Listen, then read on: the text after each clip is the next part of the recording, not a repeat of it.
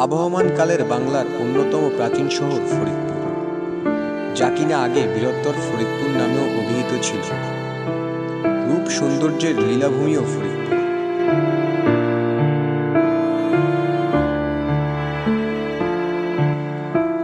ফরিদপুর। পল্লীকবি জসীমউদ্দিনের জন্মস্থান এই ফরিদপুর। যথার্থ কারণেই ফরিদপুরকে নকশিকাথার মাঠও বলা হয়। ফরিদপুর জেলা বাংলাদেশের মধ্যাঞ্চল ঢাকা বিভাগের একটি প্রশাসনিক অঞ্চল। আয়তন আটশো দশমিক দুই আট বর্গ মাইল মোট জনসংখ্যা সতেরো লক্ষ বিয়াল্লিশ হাজার সাতশো বিশ জন। আয়তন ও জনসংখ্যার দিক দিয়ে ছোট্ট একটি শহর ফরিদপুর এই জেলার শিক্ষার হার সাঁত্রিশ দশমিক চার চার, যা একেবারেই কম নয়। মোট শিক্ষা প্রতিষ্ঠানের সংখ্যা চারশো চব্বিশটি। তার মধ্যে কলেজ আটচল্লিশটি, মাধ্যমিক বিদ্যালয় দুইশো চৌত্রিশটি, মেডিকেল কলেজ একটি ও ইঞ্জিনিয়ারিং কলেজ একটি। Faridpur engineering college.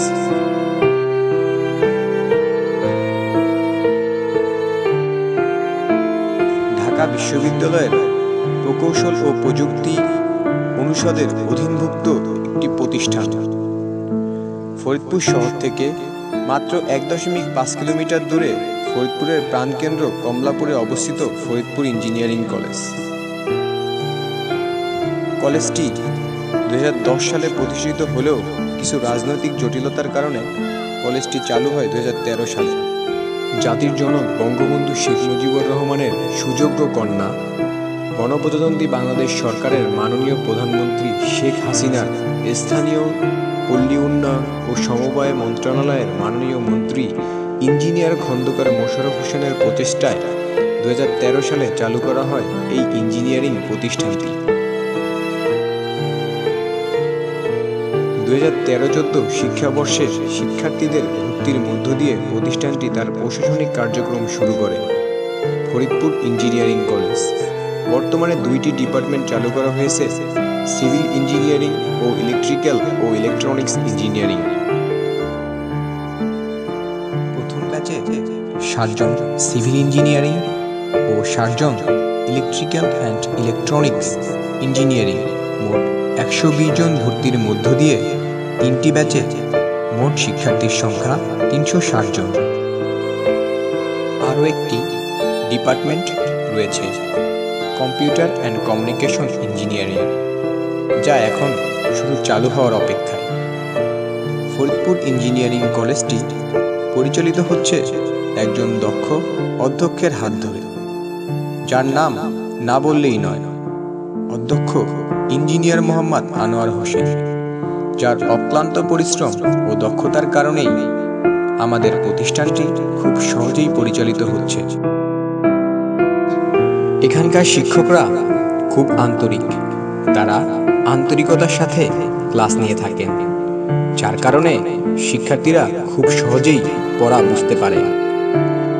Faridpur engineering college. মাত্র আট একর জায়গার উপর নির্মিত ছোট্ট একটি প্রতিষ্ঠান। সুবিশাল জায়গায় কখনো কোনো প্রতিষ্ঠানকে বড় করে তুলতে পারে না। ছোট জায়গার পরিসরে আমাদের এই ইঞ্জিনিয়ারিং প্রতিষ্ঠানটিতে রয়েছে ছোট বড় এগারোটি ভবন, যার বেশিরভাগ ভবনগুলোই পাঁচতলা। ভবনগুলো আধুনিক সব সাজসজ্জায় সজ্জিত। এখানে রয়েছে একটি সিভিল ভবন, একটি ত্রিপলি ভবন, একটি সিসিই ভবন, একটি প্রশাসনিক ভবন, ব্যাংক, ডাকঘর, ক্যাফেটেরিয়া ভবন। রয়েছে একটি সুবিশাল অডিটোরিয়াম বিশিষ্ট মাল্টিপারপাস ভবন।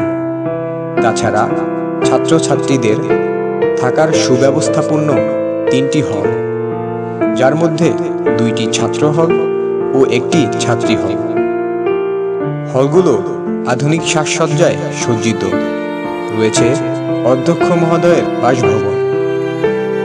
রয়েছে দেশ বিদেশের বই সমৃদ্ধ সুনিবিড় পরিবেশে একটি আধুনিক লাইব্রেরি, যেখানে শিক্ষার্থীরা খুব সহজেই জ্ঞান অর্জন করতে পারে।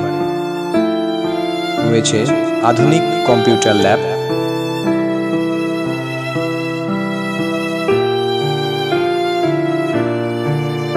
একটি খেলার মাঠ, যেখানে শিক্ষার্থীরা খেলাধুলার মাধ্যমে তাদের মানসিক বিকাশ ঘটায়।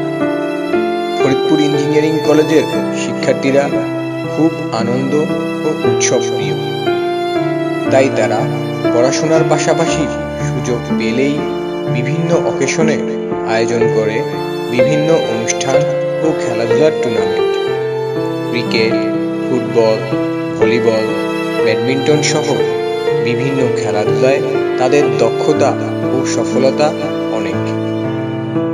আর অনুষ্ঠান অনুষ্ঠানের কথা না বললে একটি বিরাট অংশই বাদ পড়ে যাবে। সুযোগ পেলেই ইঞ্জিনিয়ারিং কলেজের স্টুডেন্টরা উদযাপন করে বিভিন্ন অনুষ্ঠানে